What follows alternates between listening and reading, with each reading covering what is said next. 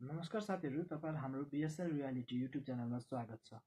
आज म तपाईँहरूलाई मोबाइलबाट चाहिँ कसरी युट्युब भिडियोको कपिराइटहरूलाई चेक गर्ने भन्ने विषय लिएर बताउनु गइरहेको छु। साथीहरू तपाईँहरूले चाहिँ यो भिडियो स्किप नगरिकन हेरिदिनु होला जसले गर्दा तपाईँहरूलाई यो भिडियोमा के भनिएको छ कसरी चेक गर्ने भन्ने विषय लिएर मद्दत पुग्न सक्दछ।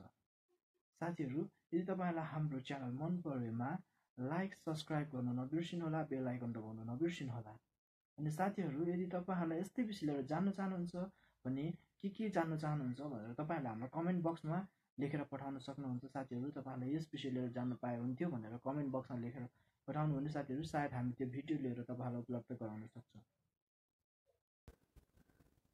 साथीहरू सर्वप्रथम तपाईँहरू आफ्नो गुगल साइटमा जानु होला जस्तो कि म गुगल क्रोम ओपन गर्छु।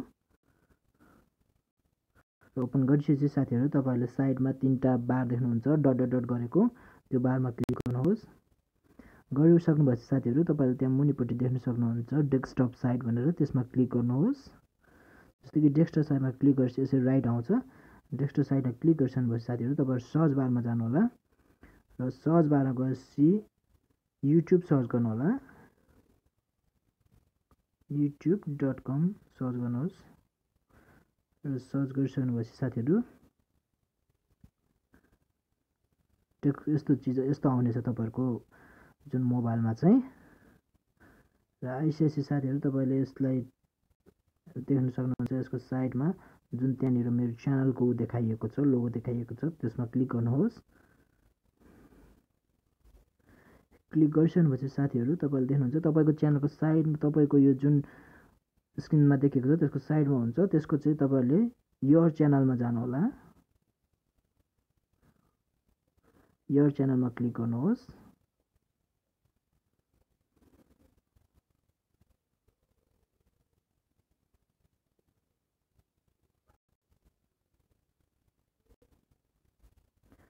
जसरी यर च्यानल क्लिक भइसक्यो साथीहरू यस्तो देख्न सक्नुहुन्छ। तपाईँले यस्तो देखिसकेपछि साथीहरू तपाईँले त्यहाँनिर दुईवटा देख्नुहुन्छ निलो निलो उसमा। त्यहाँ चाहिँ कस्टमाइज च्यानल भनेको छ होइन? अनि त्यसपछि अर्को साइडमा चाहिँ युट्युब च्यानल भनेको छ। युट्युब युट्युब स्टुडियो भनेको छ। युट्युब स्टुडियोमा क्लिक गर्नु होला साथीहरू।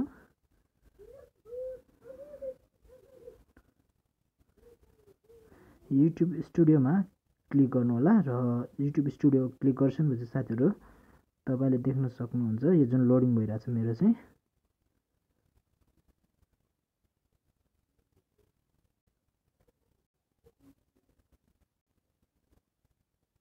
ओपन हुने क्रममा छ साथीहरू।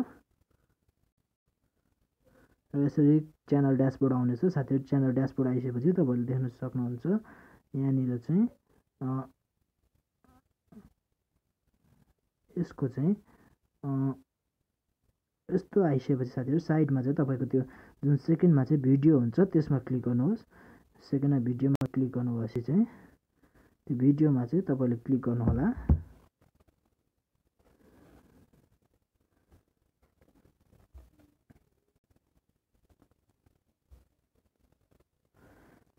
र भिडियोमा क्लिक गरिसक्नुभएपछि साथीहरू तपाईँले देख्न सक्नुहुन्छ त्यहाँनिर कसरी चाहिँ आउनेछ भनेर देख्नको लागि चाहिँ साथीहरू जस्तो कि यहाँ देख्न सक्नुहुन्छ। साइडमा चाहिँ तपाईँले तपाईँको च्यानलमा कपी कपिराइट यसरी लागेको हुनसक्छ होइन?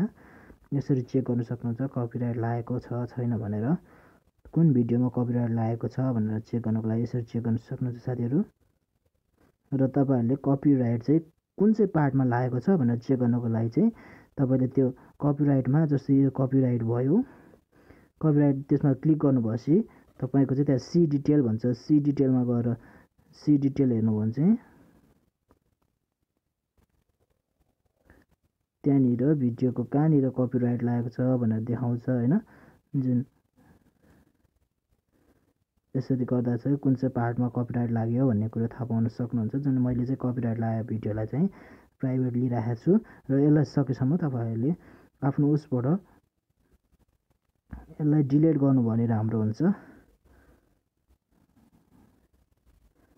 जस्तो कि यो कपिराइट लागेको भिडियोलाई चाहिँ म यहाँनिर साइडमा गयो भने चाहिँ यहाँ डिलिट फर एभर हुन्छ डिलिट फर एभर डिलिट गर्नु सक्नुहुन्छ यसरी। आई अन्डरस्ट्यान्ड गरेर यसलाई चाहिँ डिलिट गर्नु सक्नुहुन्छ।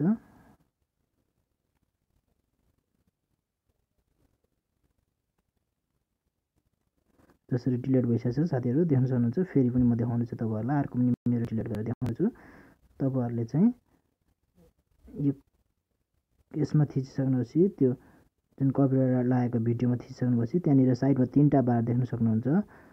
यसमा देख्न सक्नुहुन्छ यो तिनवटा बार क्लिक गर्नुभयो भने चाहिँ तपाईँले मुनिपट्टि चाहिँ डिलिट फरेभर आउँछ डिलिट फरेभर डिलिट गर्न सक्नुहुन्छ। र यसलाई आई अन्डरस्ट्यान्ड गरिदिनुहोस्। र यसरी पर्मानेन्ट डिलिट गर्न सक्नुहुन्छ साथीहरू।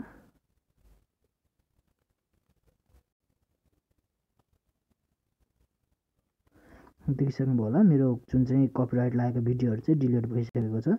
यसरी तपाईँहरूले नि डिलिट गर्न सक्नुहुन्छ। हेर्नुहोस्। र डिलिट भइसकेको छ र सबै हटिसकेको छ।